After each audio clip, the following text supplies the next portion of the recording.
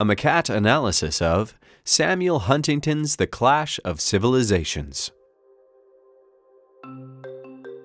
Culture and ideology shape our relationships.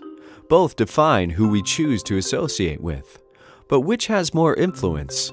Cultural factors such as language, customs, and societal rules? Or ideological ones such as politics or philosophy? In 1996, Samuel Huntington published The Clash of Civilizations, in which he theorized that cultural differences between civilizations, rather than ideological differences, would be the primary source of future global conflict. Let's create a clash between two stereotypical high schools. It's lunchtime at City Academy. The football team eats with the cheerleaders. The nerds are playing cards, the popular kids are playing guitar, and the art club are reading poetry to each other. These different groups aren't mixing, and they aren't really keen to either.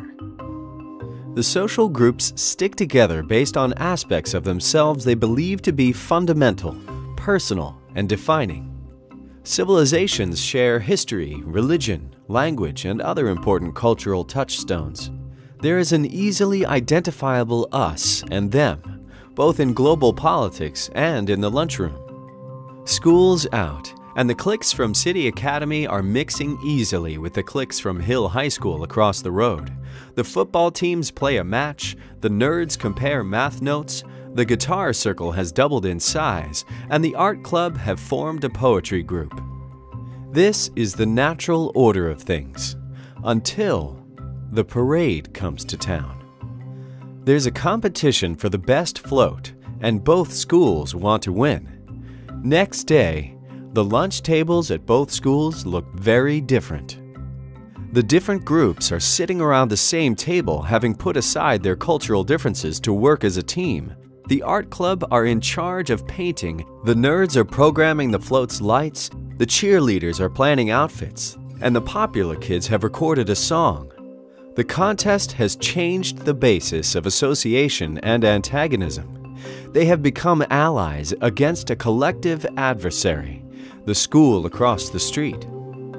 Parade day comes and City Academy takes home the prize. Days later, having put aside their cultural differences to support an ideological cause, they're back to their old ways. In the case of international conflict, Huntington believed the same thing happens. Countries pull together and cooperate when fighting for a shared ideology, for instance in times of war. But Huntington believed that cultural differences are more pervasive than ideology. He thought that cultural separations persist, and therefore these differences will be a perpetual source of recurring conflict. He applies this theory to the alliances and antagonisms that were formed during and after the Cold War, and in doing so, raises some controversial questions about the driver of conflict. A more detailed examination can be found in the Macat analysis.